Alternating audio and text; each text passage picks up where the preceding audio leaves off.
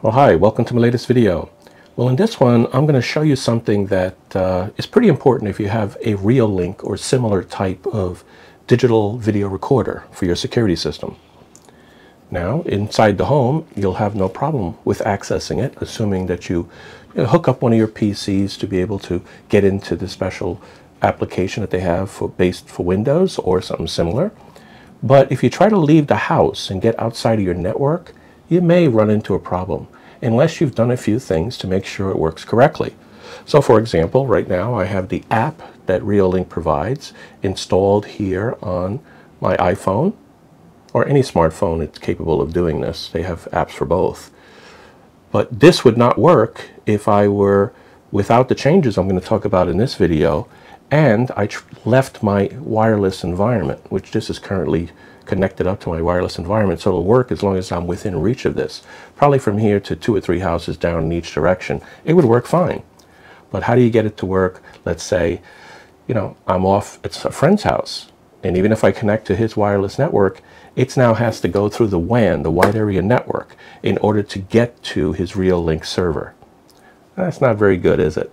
So let me show you what you have to do. And it's there's changes that you have to make sure that you have, and you may probably have to make them for the first time to both your router and also to the Reolink configuration. And I'll show you each of those, and then we'll come right back and close it out.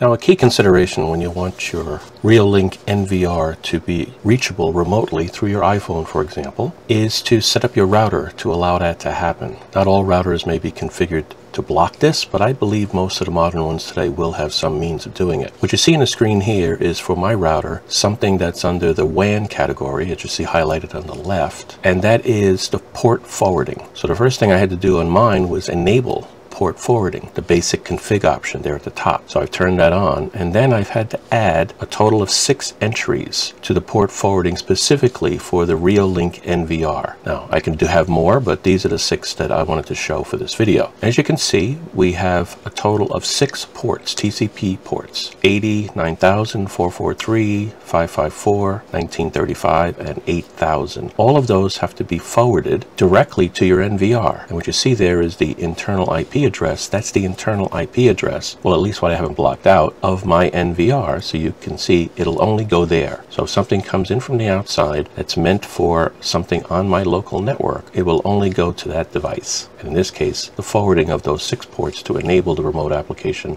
from the iPhone to work. Now in the NVR itself, what you first do is go into settings, then go into system, then go into info, you make sure that this is enabled. Allow Reolink app slash client to access the device via WAN using UID. The UID is right there below it. That's how you had to set up your client in the first place. Either scanning that QR code or typing in the information considered the UID.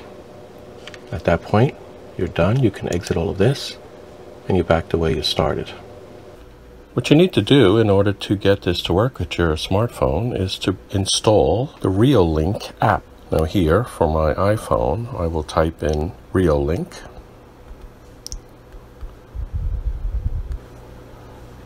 Do a search. And here it is right here, the one at the bottom.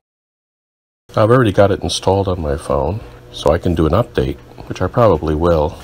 But you can download it, and then once you run it, one of the first things it'll do as you set it up is ask you to scan the QR code that is your UID. You will find that on the outside of your Reolink NVR. Or if you go into the menus and look up info on the Reolink NVR itself, you will see a copy of it.